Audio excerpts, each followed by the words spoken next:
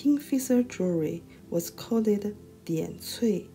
Their blue colors was from the kingfisher feathers. Only the white-breasted kingfisher and the black-capped kingfisher could be used to make jewelry. The craftsman first made a metal model, usually gold or silver, then glued feathers on it.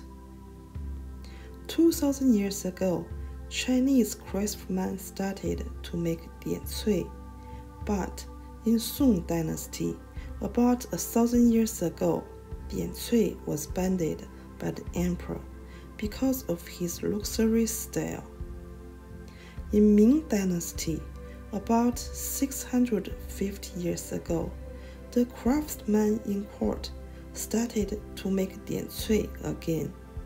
And in the middle of Qing dynasty, about 250 years ago, dian cui was fully developed. In the inner palace of Qing dynasty, dian cui was really popular. Now, a large number of dian cui were saved in the Palace Museum in Beijing, China. The real Diancui ended during the Chinese Revolution in the 1940s.